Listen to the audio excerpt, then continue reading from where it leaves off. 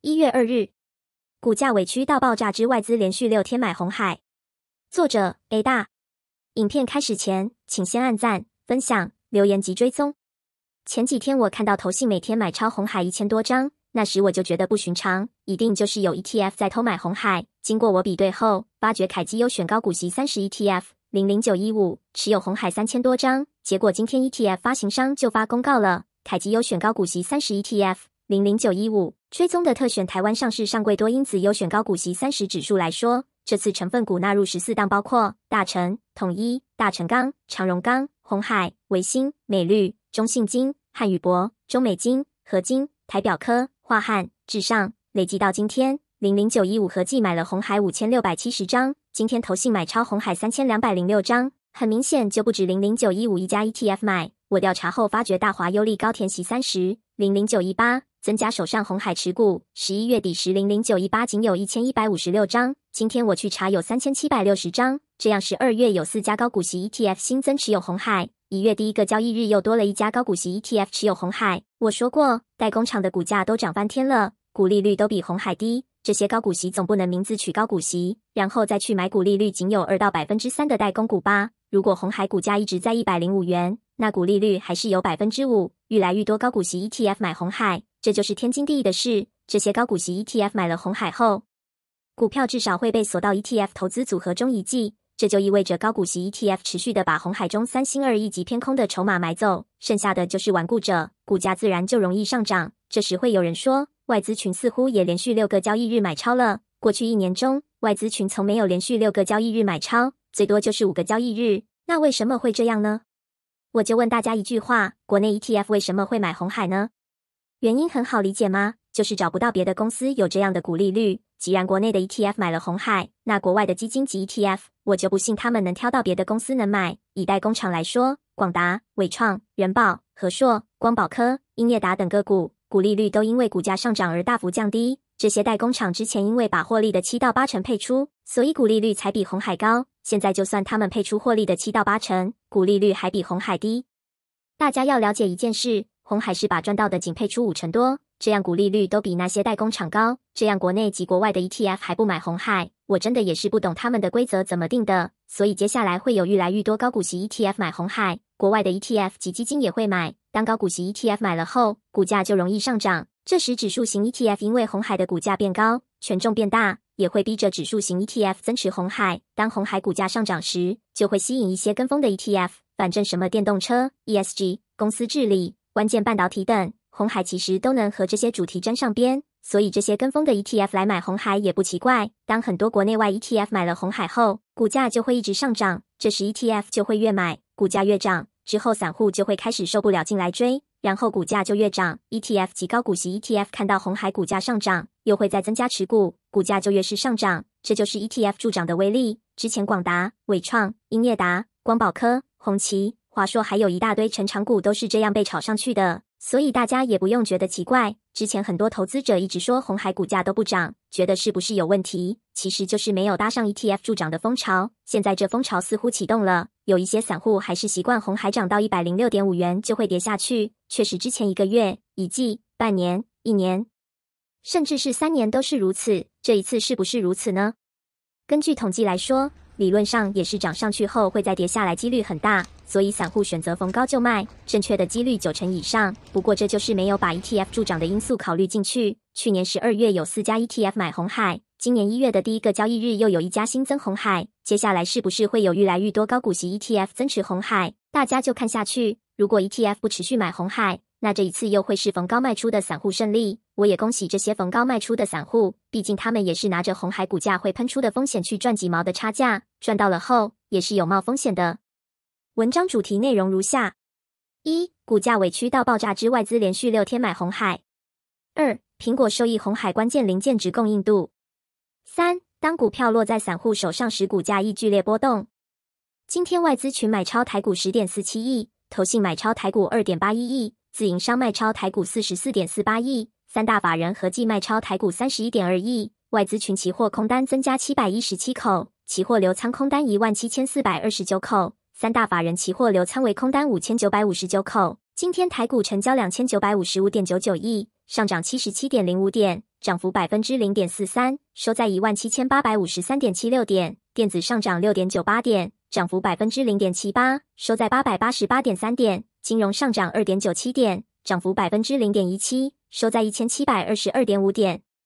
今天买超第一名的是台湾摩根，买了三千四百五十四张；第二名的是玉山，买了一千七百六十八张；第三名的是凯基，买了一千三百七十张；买第四名的是富邦，买了一千三百二十一张；第五名是瑞银，买了一千零三十一张；买第一名的摩根大通，卖了八百零七张；卖第二名的是富邦南屯，卖了六百三十二张；卖第三名的是美商高盛，卖了五百四十张；卖第四名是群益东门，卖了四百五十一张；卖第五名的是兆丰鹿港。卖了三百一十九张。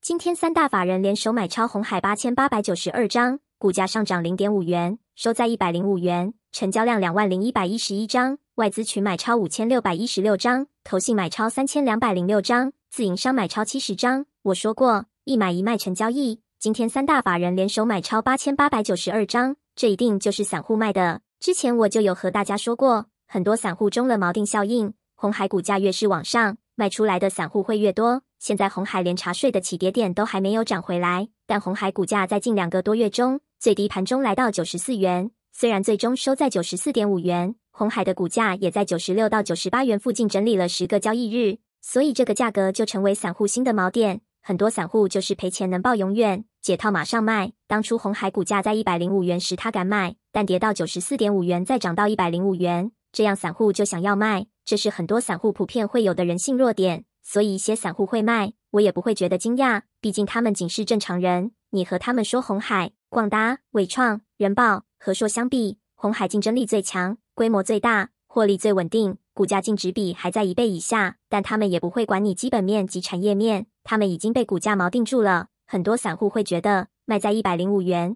之后跌回一百点五元再来买就行了，但我之前就说过，从十二月十五日开始。高股息 ETF 开始买红海，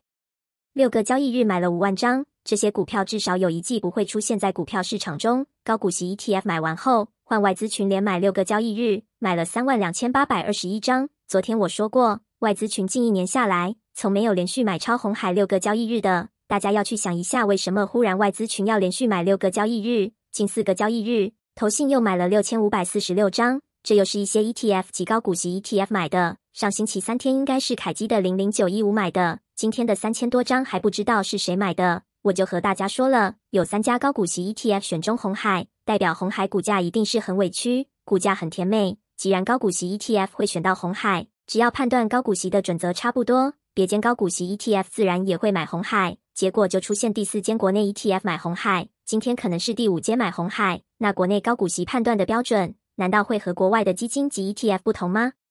当然不可能。所以一些被动基金会选到红海来买超，这也是很自然的事。毕竟 ETF 规模变大，经理人不可能再去买股价净值比二点六九倍的伟创，股价净值比四点七七倍的广达。高股息 ETF 经理人如果拿新进来的资金去买股价净值比很高的个股，那未来报酬率会低到非常的夸张。红海的股利率目前一定是代工厂中最高的。之前因为红海赚十元只会配出一半，剩下的一半要留在公司中继续发展。别的代工厂因为规模无法继续变大，订单都被红海抢了，所以就只能维持一样水准的营收，自然就要把大部分的获利都配出来。结果这样成了高股息，红海是配出一半而已，这样股利率都比其他代工厂配出七到八成获利高。我是不懂高股息 ETF 不买红海，不然要买哪间？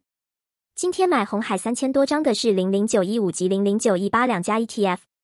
红海今天股价涨到一百零五元，站上月线一百零二点五元，季线一百零一点四元，半年线一百零四点三五元，年线一百零四点一八元。接下来就是挑战三年线的一百零六点五八元。按照红海股价都在区间整理的习性，很多散户一定会在一百零二点五到一百零六点五元之间被洗掉。毕竟红海股价就是很容易涨了后下跌，散户和永丰哥一样，都觉得找到发财的秘籍，觉得这样能低买高卖好轻松。确实，依据统计资料来说。红海股价就是涨到一百零六元后会跌下去的几率很大。以红海的半年线及年线在一百零四到一百零四点五元来说，股价只要超过一百零五元就是相对高了。这是一般散户透过统计得到的结果。但大家记得一件事：红海是一家每年能赚进真金白银的公司。二零二一年赚十点零五元，二零二二年赚十点二一元，二零二三年前三季赚六点四二元。近三年的净值已经从九十九点五九元提升到一百零七点一三元了。如果一直使用统计的话，那你就是把一家公司看成数字，这样在判断公司价值及股价，很容易就会出现很大的问题。大家看永丰哥这样每天赚钱，觉得风光无限，其实永丰哥成功一次能赚零点二五元，成功四次能赚一元，一个月有二十二个交易日。就算都给你成功，这样也才赚五点五元。近两个月通通都给永丰哥成功，了不起就是赚十一元。当初如果永丰哥九十四元买到，现在红海股价一百零五元了，差价也是赚了十一元。重点是永丰哥有连续四十四个交易日都成功吗？当然就是没有。所以一副很忙的做法，不一定是能赚的比抱着不动的多。很多散户习惯赚差价，近一两年几乎都是成功低买及高卖，看到股价涨上来就卖。正确的几率近乎百分之一百，会有人觉得这样可以赚比较多。也许你可以成功很多次，但一般这样玩的就是小打小闹。你不如想办法在红海价值区多布局一些股票，存够张数，这样总是会有一次是涨真的。只要那一次出现，一次就是能赚到足以让你财富自由的资金。红海股价每月上涨零点五元，就会有一堆散户卖出。其实这也是正常的。如果三大法人这一次是玩真的，这些散户可能会在红海涨到一百五十元进来放空。涨到五百元，再跌回三百到四百元之间回来加码买进，最终就是被长期套在三百到四百元。而每一次涨起来都没有卖的人，只要涨到五百卖掉，接下来从此不再进来买，那一次就财富自由了，也不会被套在三百到四百元之间。大家看很多标股最后的情况，大部分的散户在一开始上涨时都是一直卖，伟创及广达就是这样，很多人在伟创涨到三十元时就卖掉了，这就和散户在红海涨到一百零七元卖掉意思是一样的。散户最终是在九十三元到一百零七元买回伟创，这就是差不多红海股价三百到三百三十元。当初有人说散户最后会被套在九十三元到一百零七元，我想打死很多人，很多人都不信。毕竟伟创长期下来就是在二十六元到三十元之间整理，别说是九十三元了，涨到四十元都会觉得不可思议。但最后伟创的股东中就有一半是买在九十三到一百零七元，他们还觉得这个价格买到很委屈，还能一直加码。这就是散户的悲歌。真正值得买时，他们赚几毛、几元就卖；股价在疯狂时，他们会看之前的锚点，然后觉得自己买到赚到，最终在股市大幅修正时，才在那受重伤。新闻说，印度媒体报道，苹果扩大印度制造能量，受益红海集团零组件直供印度。镜头模组先行，由红海旗下镜头模组厂信阳控股打前锋，出货 iPhone 镜头模组到印度，并协助到印度建立 iPhone 零组件供应链。外界解读。随着印度关键零组件来源更加完备，有助提升红海在印度市场接单能力。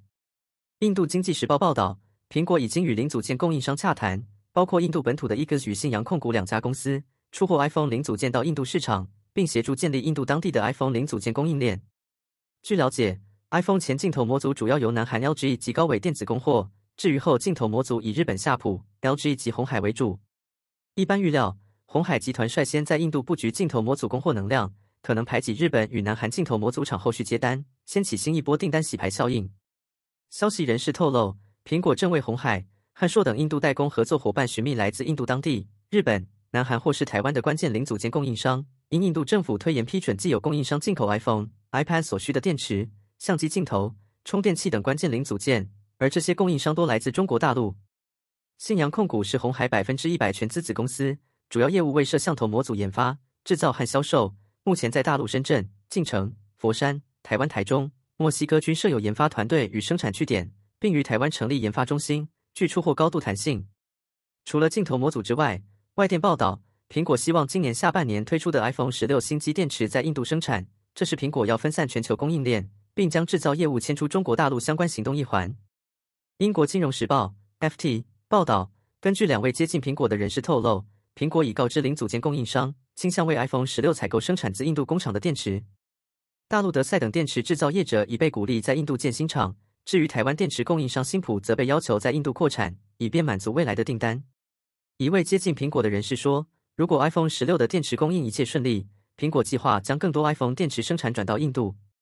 红海旗下信阳控股持续扩大出货 iPhone 镜头模组，由于零组件毛利率远高于组装，外界预期对提升红海集团毛利率有加分效果。红海营收主要分为消费智能产品，例如 iPhone；云端网络产品，例如 AI 伺服器；电脑终端产品，例如 MacBook；元件其他产品，例如镜头模组等四大类。红海董事长刘扬伟先前表示，红海集团相关元件和其他部门营收规模逾兆元，营收占比百分之十五，成长新动能包括声学元件、半导体元件、软体等，传统机构件和光学模组等也将随市场趋势成长。刘阳伟预期，上季在消费智能产品强劲成长带动下，营收将明显季增。不过，因为二零二三年总体环境不佳，因此上季营收将年减。二零二三年全年营收维持略低于二零二二年看法，但二零二三年毛利率略优于二零二二年。A 大回答：红海持续的布局全球产能，印度、越南、墨西哥、美国、台湾都持续的在投资。记得在疫情发生之前，那时红海就有意要分散产能到全世界，这样就能达到分散风险。结果疫情前两年中，疫情在中国是管控的最好，全球制造业都在停工及不顺情况下，就只有中国制造业最正常，这就使得外资企业。台商及红海在中国产能不减反升，到了二零二二年时，全球都在解封了，结果仅剩中国还在严格的动态清零。Covid 十九到了二零二二年时，就是轻症及无症的比较多，但传播的力道极强。中国想要复制二零二零及二零二一年成功的经验，结果让全世界的品牌厂吓死了。中国一意孤行的动态清零，把很多制造业及品牌业搞到苦不堪言，连红海这种竞争力一流的公司，在二零二二年都出现了疫情防控失败。郑州员工出走及暴动，到了二零二二年底，中国解封，但品牌厂、代工厂、台商、红海下都吓死了，就开始分散一些产能到印度、越南、墨西哥、美国、台湾等国家。这时就会有一些中国的农场短视频在那说中国彻底完蛋，说中国大失业。其实，在很多品牌厂、制造业、外资企业、台商、红海分散产能到全世界情况下，中国一定是会出现失业人潮的，这也没啥好说的。尤其中国人又要拿二零二零到二零二一年全盛时期比，这样落差一定就是更大。在二零二零到二零二一年时，几乎就只有中国制造最顺利，那时给中国的薪水要多高有多高。疫情时，中国的劳工又在那拿翘，这就造成了成本增加。品牌厂及代工厂如果发觉中国制造成本过高，自然就是要分散风险。一来是政治风险，二来是员工薪资也太高了。当很多外资企业、台商、红海车一些产能到全世界时，中国因为供需法则的缘故，员工薪资又回到相对合理的水准，也就是比较有竞争力的薪资。企业就是这样，中国的员工薪资如果太高，这就会增加成本，最终一定就是会反映到产品上。当产品太贵，消费者就不会买单，这样销售就会变差。所以一些产能到印度、越南、墨西哥、美国、台湾后，中国劳工的薪资降下来，那制造业在中国竞争力就更强一些。中国还是世界的制造工厂。短时间不容易被取代，尤其是一些外资企业、台商、红海分散产能到全球后，中国的薪资成本降低，竞争力又回来了，所以中国也不可能完蛋。一些农场短视频看一看，笑一笑就行了。红海最大的制造基地还是在中国，不过最近确实是有分散一些产能到全球各地，这样做也不错。不然一些投资人常常在那中国要没收红海了，红海要倒闭了，红色供应链要打败红海了。一些搞笑的话，就是因为红海大部分产能在中国，红海的产能本来有七成在中国，二零二三年比较大动作的分散风险可能会降到六成左右。今天伟创股价下跌四点九元，跌幅百分之四点九六。伟创的月线九十三点五二元，季线九十五点三元，半年线一百零七点一元。广达今天股价下跌十点五元，跌幅百分之四点六七。广达的月线两百零七点六元，季线两百一十点二三元，半年线两百二十点四元。之前我就说过，伟创近半年下来有十几万个人买进，成本就是在月线、季线、半年线，这十几万个人占伟创总股东人数将近一半。这么多散户的成本在九十三到一百零七元，自然股价就容易在这区间整理。以上星期五来说，股价收在九十八点六元，站上了月线九十三点五元及季线九十五点三元，这代表近一个月、近一季进到尾创中的人平均是赚钱了。当台股要接近一万八时，就会有一些散户觉得高点到了，要先跑一趟。看到台股下跌时，他们就会想要保住自己的获利，毕竟得到后再失去，痛苦是三倍。这就使得当冲客、短线客能在里面上下其手，直到散户看到跌破自己的成本会止损，或是趁着自己还有小赚一点会卖，主力就会故意的先卖后买，这样就能赚到差价。求的就是让散户能在波动过程中人踩人。今天伟创股价跌到九十三点七元，跌到了月线左右。今天应该会把很多买在月线及季线的人洗出去。不过大家记得一件事，在伟创这价格被洗出去不是什么坏事。不过散户很有趣，如果你觉得伟创有这个价值，你会在月线、季线、半年线买进，那你就不该看到股价波动时买来卖去。今天广达的情况也很相似。上星期五，广达收在两百二十五元，站上了月线的两百零七点六元，季线的两百一十点二三元，半年线的两百二十点四元。今天广达收在两百一十四元，跌破了半年线，还站上月线及季线上。之前我说过，广达近半年中有多八万多个股东，这些人占了广达总股东的三到四成。上星期五，广达站上季线后，近半年进来买到的都小赚一些了。今天看到伟创大跌，很多散户也是担心得到后再失去，所以也会跟着杀。这就是我和大家说的：当你买到这么高股价净值比的公司，最后留给你的就谨慎风险。记得一件事：目前台股指数还在一万七千八百五十三点，算是高点。你买到估值这么高的公司，未来只要股市一修正，你根本就没有抱住的底气。今天人保下跌零点三元，跌幅零点七五元，人保月线三十四点八八元，季线三十一点五六元。半年线三十一点六三元，人保今天股价收在三十九点五五元。和硕今天上涨零点一元，涨幅百分之零点一一。和硕月线八十四点八六元，季线八十点六元，半年线七十八点七五元。和硕今天股价收在八十七点四元。昨天我有列出电子代工厂的股价净值比，红海净值一百零七点一三元，股价一百零四点五元，股价和净值之间差二点六三元，股价净值比零点九八倍，是代工厂中最低的。人保净值二十七点八二元，股价三十九点八五元，股价和净值之间差十二点零三元，股价净值比一点四三倍。广达净值四十七点零八元，股价两百二十四点五元，股价和净值之间差一百七十七点四元，股价净值比四点七七倍。伟创净值三十六点六三元，股价九十八点六元，股价和净值之间差六十一点九七元，股价净值比二点六九倍。